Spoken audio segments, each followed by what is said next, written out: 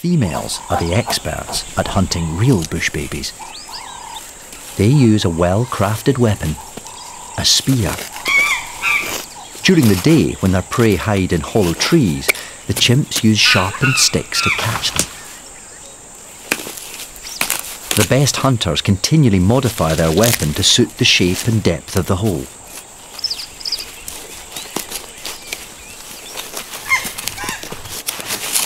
The male has a less refined technique. His spear isn't even straight.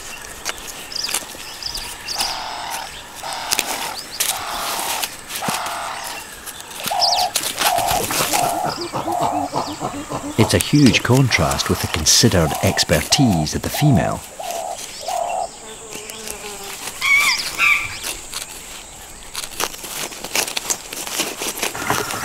The male favours brute force.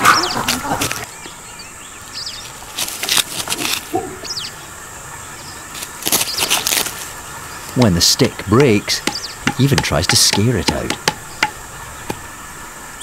Fortunately, the youngsters generally learn from their mother. But the male perseveres, and this time he's made a bit more effort with his spear.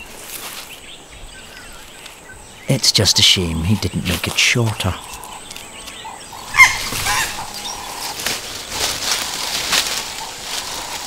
There's little for a young one to learn here.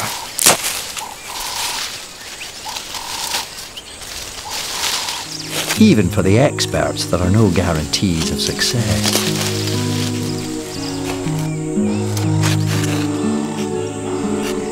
The bush baby squeezes out, and in a flash, it's gone.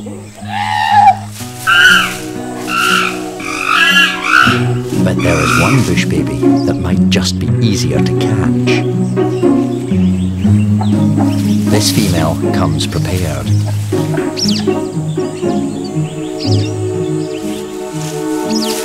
But uses a thicker branch to test the reaction.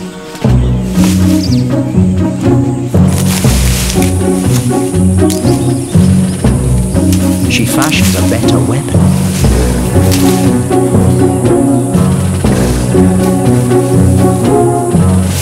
Then has second thoughts.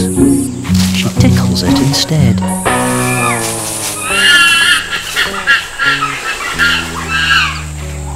Spy Bush Baby lives to spy another day.